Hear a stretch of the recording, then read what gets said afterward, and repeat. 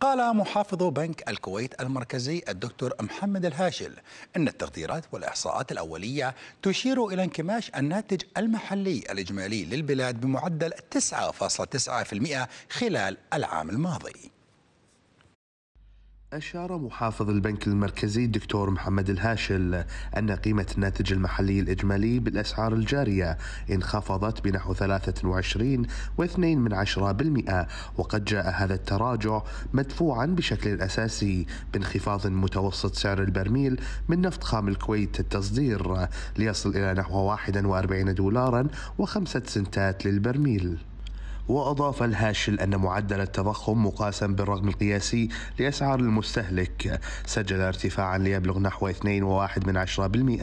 خلال العام الماضي مبينا أن الاقتصاد العالمي واجه عاما استثنائيا بالغ الصعوبة بسبب جائحة كورونا التي أحدثت صدمة اقتصادية وصفت بأنها الأكثر حدة. مشيرا إلى أن الاقتصاد المحلي تأثر بالجائحة وبتداعياتها على الاقتصاد العالمي والإقليمي ودخول العديد من الدول في مرحلة الركود الاقتصادي، الأمر الذي أدى إلى تراجع معدلات الطلب العالمي على النفط وانهيار أسعاره وهو ما انعكس بشكل مباشر أو غير مباشر على أوجه النشاط الاقتصادي بالكويت، وأكد الهاشل أنه قام بتعديل تعليماته الرقابيه وأدوات سياسة التحوط الكلي بتخفيف متطلبات متطلبات النسب الرقابية على صعيد معايير السيولة ومعايير كفاية رأس المال ومعايير الإقراض لمساعدة البنوك على أداء دورها الحيوي في الاقتصاد وتحفيزها على تقديم مزيدا من القروض والتمويل للقطاعات الاقتصادية والعملاء المتضررين من الأزمة